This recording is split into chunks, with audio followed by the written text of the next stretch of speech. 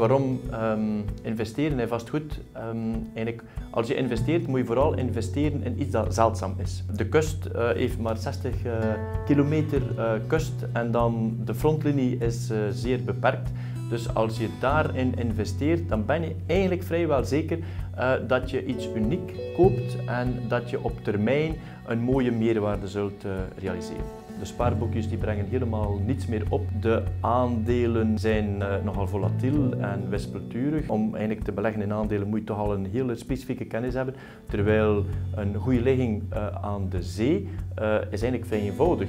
Als die ligging goed is, dan heb je de zee, dan heb je de zon. Dus um, dan heb je het hinterland, dan heb je vrije tijd. Dus vele mensen op vandaag, door de, de, de, het economisch klimaat, door de, door de lage interestvoeten op de spaarboekjes, die converteren hun, hun spaarcenten in vastgoed.